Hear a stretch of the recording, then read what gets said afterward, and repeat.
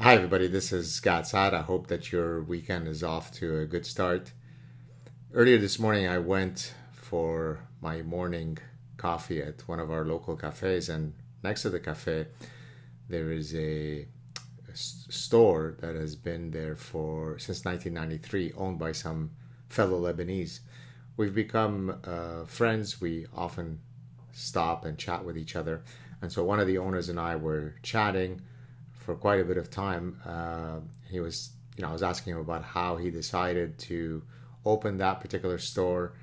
Uh, just taking time and being interested in his personal life. He has an engineering background. You would never think that he would open up a toy slash bookstore, but that's the serendipity of life. But my point here is that in opening up to people and and you know being interested in their stories, it makes it easy for people to communicate with you. One, I think one of the reasons that my show has been successful is that when I hold these long format chats, you can tell that uh, I'm someone who likes to engage people. Everybody has an interesting story to tell, irrespective of the domain that they operate in, whether they are scientists or lawyers or actors or comedians or athletes. And so taking the time to actually be interested in the story of another is a wonderful way to get to know someone. And as so, I was walking back home with uh, one of my children, and we came across uh, a couple from uh, the Comoros, uh, a island nation in uh, from in East Africa. He's a mathematician, and his wife is a postdoc and a neurologist.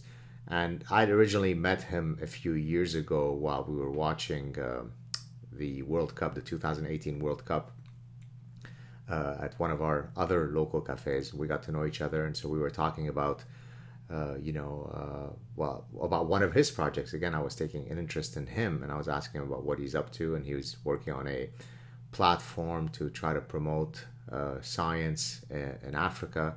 You know, a very interesting and laudable project. So we we got into all sorts of uh, conversations, and then as I got home, you know, I felt invigorated by the start of the day because I just had two wonderful serendipitous chats with uh, folks with completely different backgrounds.